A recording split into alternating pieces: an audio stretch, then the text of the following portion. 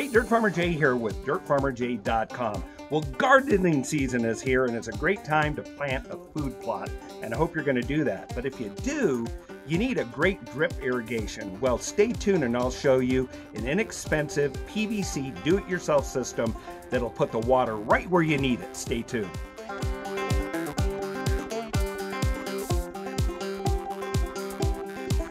All right, so let's go ahead and look at what it takes to build one of these surface mounted systems. I'll get into a little bit of detailed shots in a few moments, but let's just give you an overview.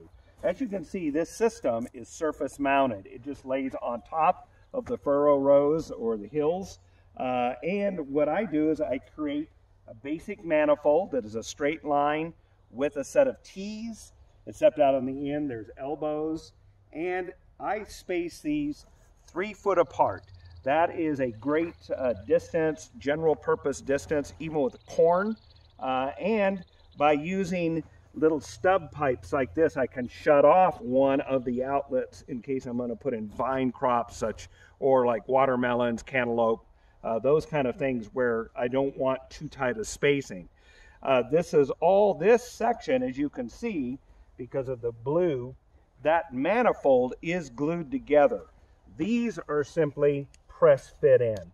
This is a low pressure system, so other than the manifold and the valve system and that sort of thing, you don't need to glue it together. This is just simply pressed into place.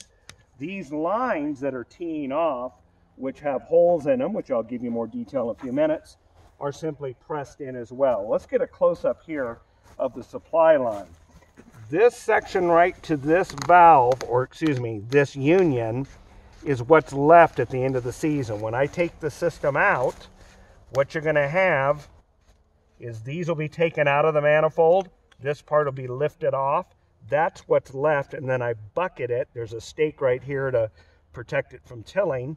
When it comes time to set up again, I set in the manifold without the pipes, and then simply screw this all together again. And now it is ready to operate.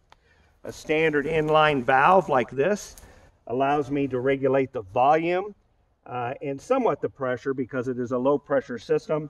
So whatever, the more lines you have and more outlets, the more volume of water you're going to need. And we'll show you this in operation a little bit.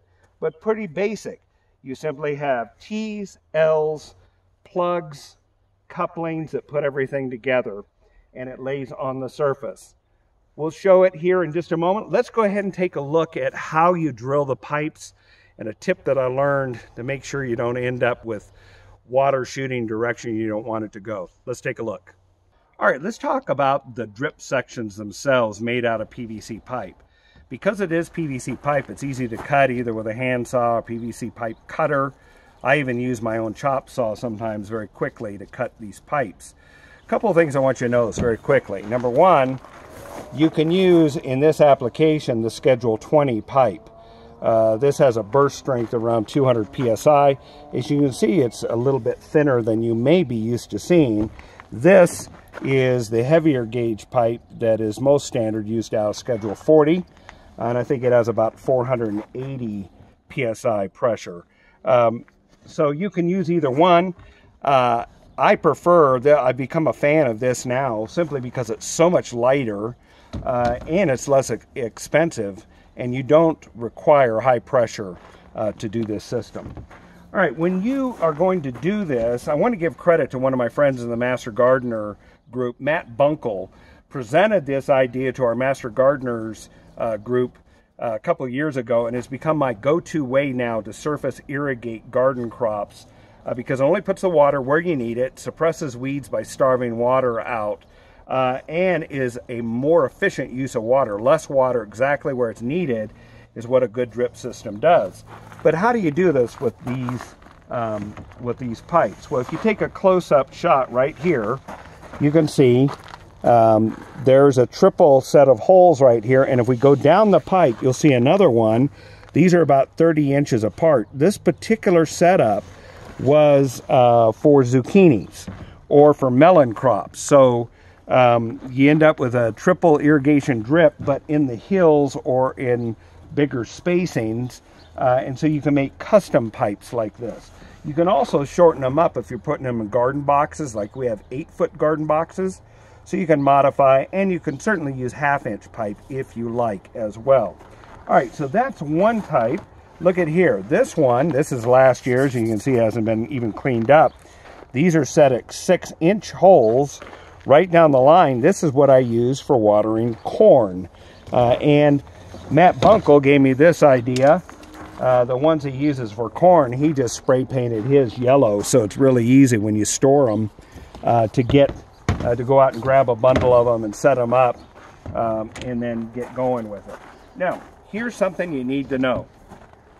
If you just willy-nilly start drilling and uh, after you just measure your lengths or your pitch distance between holes, there's no way you're going to keep that line straight. And what'll happen is you'll lay down the pipe and the water will be coming out the side over here, but it'll start coming up higher and higher and now you got water spraying all over. You want the water to kind of cascade out the side of the pipe uh, onto the areas where you want to irrigate or right at the base of the plants. So you've got to get everything in a straight line. How do you do that? Well, here's a fast, easy way to do that. And that is simply grab three pipes at a time, tape them uh, tight like this. When you tape them, it's possible to get them twisted like this, and you don't want to do that. Once you tape them, line this up, sight down and make sure that it's all level. Then take yourself a marker like this and simply in the joint line, draw a line down the side. And I draw it so that it goes on both sides so I can mark out two pipes at a time. And now I have a line in which to make sure that as long as I drill on that line, I'm going to end up with all the holes being the same thing. Now, one of these things you can do, or one of the things that you can do on these pipes, if let's suppose on this one I draw a double line, I can actually drill two sides of the same pipe. And I'll show you that in just a few minutes on my onions because they're a furrow crop spaced four inches apart on a hill about 16 inches apart. So I can irrigate from the same pipe, uh, from the same source pipe, but water coming out both sides. So you can use this system to mark that as well. So that's quick, doesn't create any extra um, setup, and you can just use the material you've got, simple tape and a Sharpie pen. So let's talk about drilling the holes. Surprisingly, the only thing you need is a 16th inch drill bit. That does fine. If you put out a big hole, it's going to put out a lot more pressure, a lot of volume.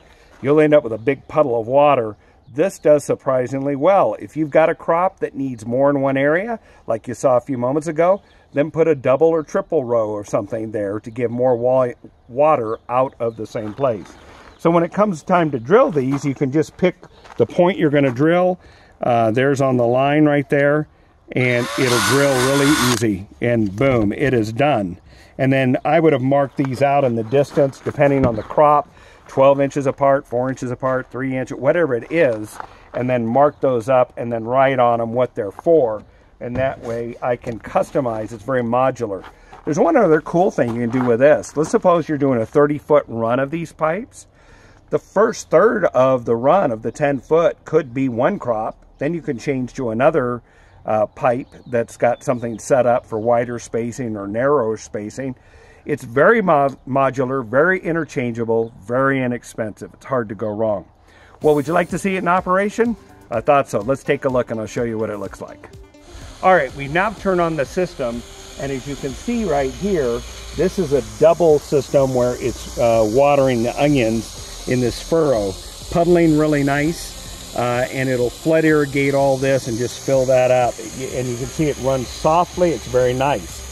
Now, before we filmed this, I just went in and threw in one of my corn ones, a triple set, in one of these uh, areas on the manifold by pulling out the short plug, throwing in one here, and these are last year's. I haven't even had a chance to clean them out. So if there's a plugged one, I just use one of my 16th inch bits, go through and punch out the little plugs because you're gonna get dirt and grit in there from time to time, and you can clean those up. You can also rotate them, but as you can see, these are drooling water very nicely uh, right where, so I would plant the corn off to, this case, the left, right where that water is hitting. And I can go down there and rotate that, get that line really nice and straight. And here's a really cool trick that Matt taught me. You simply turn off the water, let it set for a bit. Now the irrigation system itself is marked where you need to plant the seeds. You just put them right where the water mark is right there, and it's gonna get water from then on. It's a great little system. Pretty cool, huh? Well, there you have it, a great do-it-yourself drip system. If you have a great idea like this you'd like to pass on to your fellow viewers, won't you post it in the comments below? And if we make an episode out of it, we'll make sure to give you credit for it. If you found the video to be helpful, won't you like it? And better yet, please subscribe to our channel. And when you do, ring the bell so you'll be immediately notified when a video goes up. Hey, thanks for watching this episode today. Until the next time, this is Dirt Farmer Jay from dirtfarmerjay.com.